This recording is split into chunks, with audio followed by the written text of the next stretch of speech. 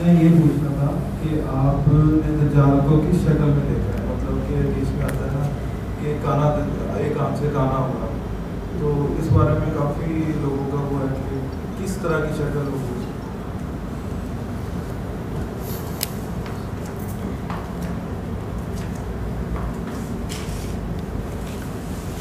अब मैंने तो उसको नॉर्मली देखा है। यानी एक आम इंसान जैसे होता है, उस तरह से। लेकिन काफ़ी स्ट्रोंग होता है और बहुत ही रोबदार और बड़ा, आप कह लें, जिसमें बहुत ही ज़्यादा कोई कॉन्फिडेंस होता है वो।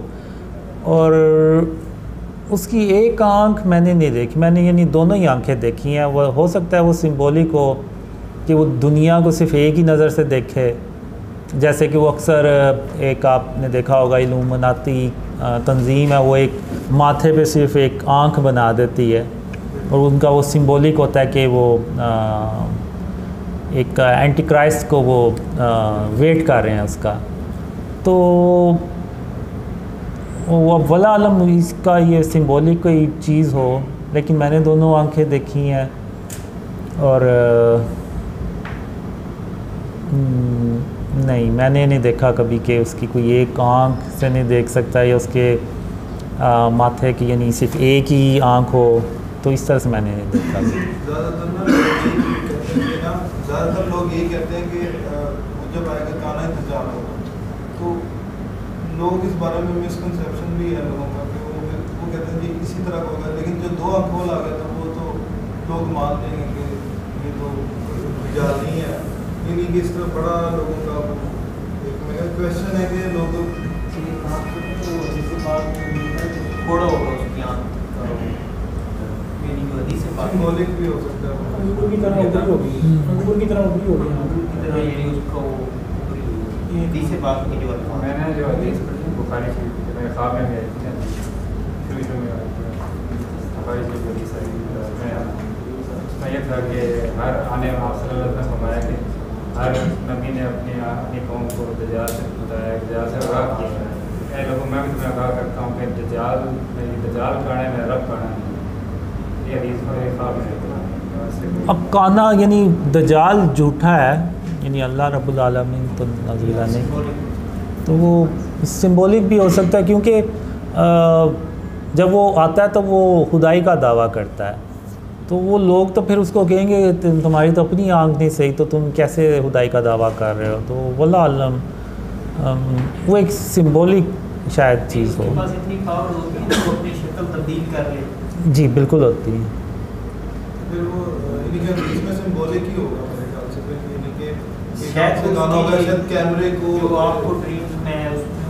क्योंकि आपने कुछ ड्रीम्स में देखा कि वो मजहबी शख्सियत की शक्ल में भी होता हाँ वो ऐसे भी होता है। डबल फेसिस भी होता है और अक्सर मकसद उसका ये होता है कि जो अच्छे मुसलमान हैं दुनिया इस वक्त दुनिया में, उनको ढूंढ के तो उनको मारना। फिर एक ड्रीम में मैंने स्पेशल देखा भी कि वो एक हेल्पर्स होते हैं, उनको मारने के लिए जाता है, लेकिन मैं भी उधर पहुँच जाता हूँ। तो वो फिर वहाँ से गायब हो जाता है और फिर जब मैं उसको ढूंढता हूँ ना तो वो एक पौधा होता है गमला होता है, उसमें एक पौधा होता है। तो वो वो बन जाता है। तो वो जब उसको मैं पत्ते को तोड़ता हूँ ना तो उसमें से खून निकलता है। तो मैं कहता हूँ इसके पास इतनी यानी पावर है कि ये हमसे छुपने के लिए ये एक पौधा बन गया है ताकि किसी को शक भी ना जाए इधर। तो यानी इस तरह से उसकी पावर्स होती हैं। जी वो बच जाते हैं। ज़ुबान है? जब मैं उससे बात करता हूँ तो वो तो उर्दू में ही करता हूँ। तो ज़ाहिर सी बात है उसको इंग्लिश भी आती होगी दूसरी। ऐसा है मतलब मेरा सवाल है मतलब ठीक ना आस पास बंदा ऐसे गुजरा हो मुलाकात की हो आपको लगता है बात पता लगा आपको लगेगा ये दजाल शक्ल चेंज करके आएगा आपके ऐसा हो भी सकता है।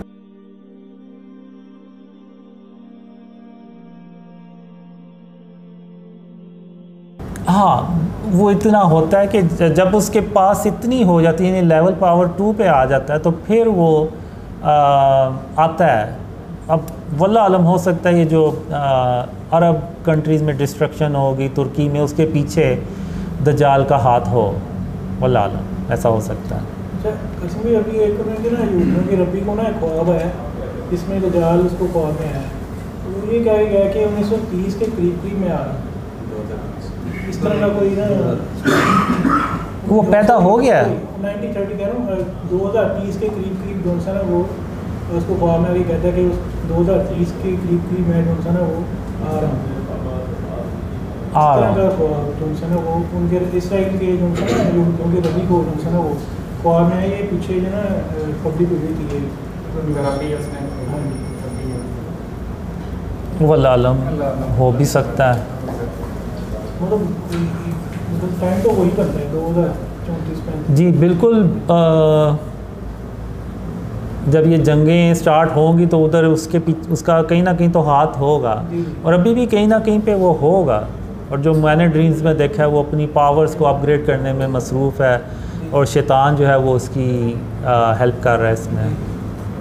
तो वो तो किसी भी वक्त आ सकता है 2030 बिल्कुल हो सकता है ऐसा कासिम ये अ, दज्जाल के ना, नाम का आपको पता है? आपने देखा हो तो इसका नाम क्या था। हम्म, मैंने उसका नाम आ, जो ड्रीम में आया उसका नाम अब्दुल रहमान होता है। वो मुस्लिम घराने में हाँ वो मुसलमान होता है और बहुत यानी नेक होता है। जैसे आप कह लें शैतान है। वो भी बड़ा नेक था अल्लाह की इबादत करता था। तो लेकिन जब अल्लाह ने उसको आदम को सजदा करने का कहा तो वो उधर से मुकर गया। तो वो कहता है कि जी मैं इनसे बेहतर हूँ मैं आग से पैदा किया गया हूँ मैं इनको क्यों सजदा करूँ? तो अल्लाह ने उसको फिर मरदूद बना के दो। तो बिल्कुल दज्जाल के साथ भी कुछ ऐसा ही होता है। तो और वो फिर वो दजाल बन जाता है।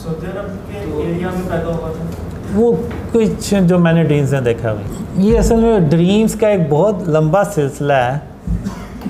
कि वो दजाल कैसे बनता है और क्या होता है उसके साथ? मेरे साथ ही होता है। बेसिकली वो होता भी यही है उसको गुस्सा भी इसी बात का चढ़ता है कि दुनिया अमन से भरी हुई है और किसने अमन अल्लाह की मदद से फैलाया वो उसका सुन के उसको ज़्यादा गुस्सा चढ़ता है। शायद वो तकबर में वो तकब्बुर की वजह से जिस तरह शैतान अभी मैंने आपको आ, स्पीच में बात की थी ना कि किसी का मज़ाक उड़ाना अल्लाह को सख्त नापसंद है। और अगर कोई किसी का मज़ाक उड़ाता है तो इस, इस वो ऐसे ही जैसे उसने नौजबिल्ला रब्बुल का मज़ाक उड़ाया क्योंकि उसी अल्लाह ने ही उसको पैदा किया है। तो बस शैतान के साथ ओ सॉरी दज्जाल के साथ भी ऐसा ही कुछ होता है कि वो मज़ाक उड़ाता है और अल्लाह का उसको मज़ाक उड़ाना सख्त नापसंद आता है।